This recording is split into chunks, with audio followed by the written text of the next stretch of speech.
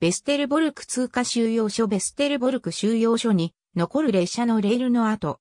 オランダ在住のユダヤ人たちが大勢ここから移送列車に乗せられて市の収容所へ連れて行かれた。ベステルボルク通過収容所はナチスドイツがオランダ北東部にあるホーフハーレンに置いていた通過収容所。ベステルボルクの北方 10km のところに存在した。この強制収容所は通過収容所であり、終着点の強制収容所ではなかった。第二次世界大戦中、オランダのユダヤ人やジプシーは、まずここへ送られた後、さらにオランダの外にある絶滅収容所や強制収容所へと移送された。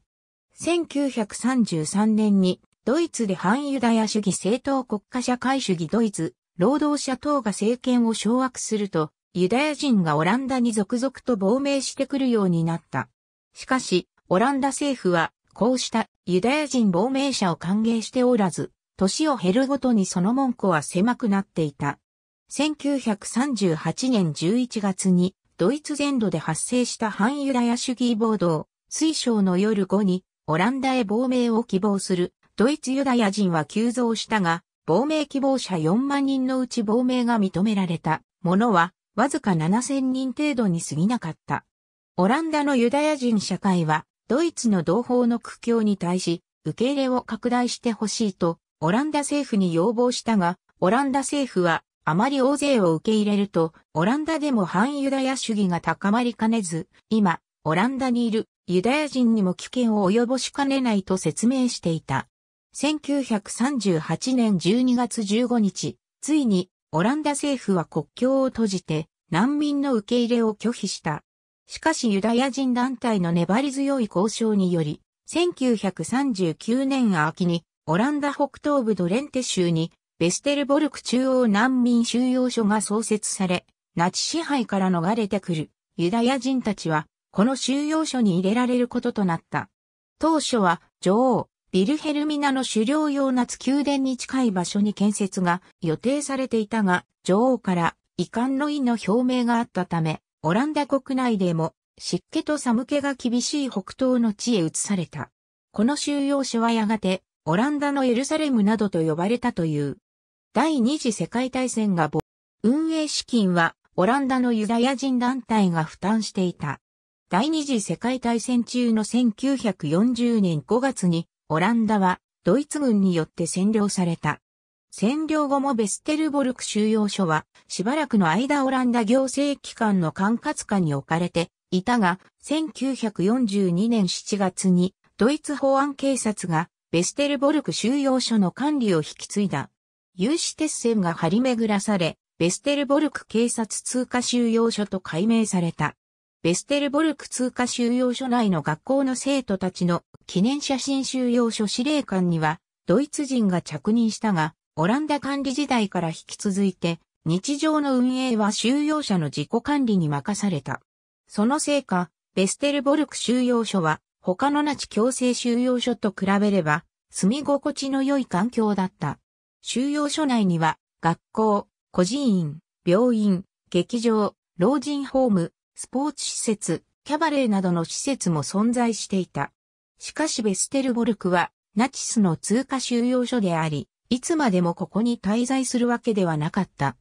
10万1000人のオランダ系ユダヤ人、5000人のユダヤ系ドイツ人がベステルボルク通過収容所を経由して、ポーランドの市の収容所へと移送されていった。またユダヤ人に加えて500人のジップシー、400人のレジスタンス活動家のオランダ人女性もここに送られてきている。オランダ政府は戦後、オランダユダヤ人のベステルボルク大量収容についての背後関係の調査を行った。この調査の目的は、キリスト教とオランダ人たちがどのくらい深くナチスに協力したかを調べるためであった。調査を任せられたユダヤ人歴史家、ジャック・プレセールはかなり多くのオランダ人がナチスに協力していた不穏な事実を発見した。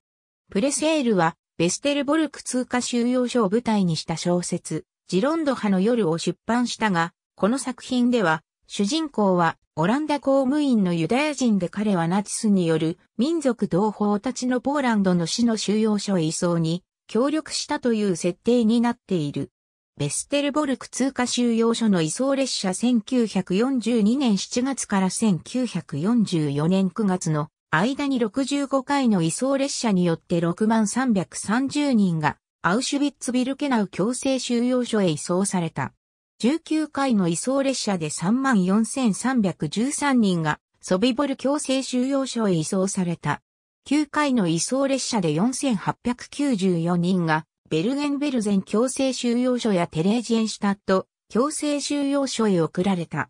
計10万7千人が移送された。このうち戦後まで生き延びていたのは5200人だけであった。この生存者は多くがベルゲンベルゼンとテレージエンシュタットへの移送者とベステルボルクに残されていたものだった。この収容所からアウシュビッツビルケナウ強制収容所へ送られるものは人員30名のはずの車両に人員の限度を無視して50名、60名と詰め込み、移送されただけでなく、馬を移送する車両にもユダヤ人を乗せていたとここからベルゲンベルゼン、強制収容所へ送られた生存者は証言している。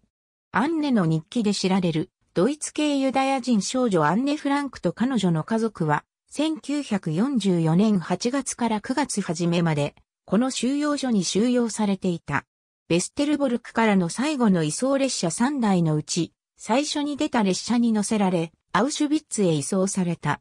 その後アンネは、姉マルゴットと共に、ベルゲンベルゼンへ移送されて、そこで死亡、生還者は、父、オットーだけだった。エティの日記で知られる、オランダ系ユダヤ人女性エティヒレスムは1942年7月30日から1943年9月7日までこの収容所に収容されていた。彼女と彼女の家族はアウシュビッツへ移送されてそこで死亡した。ドイツ系ユダヤ人の映画女優、キャバレー歌手のドーラ・ジェルソンとその家族もこの収容所からアウシュビッツへ移送され、そこで死亡している。1945年4月12日にカナダ軍がベステルボルク収容所を解放した。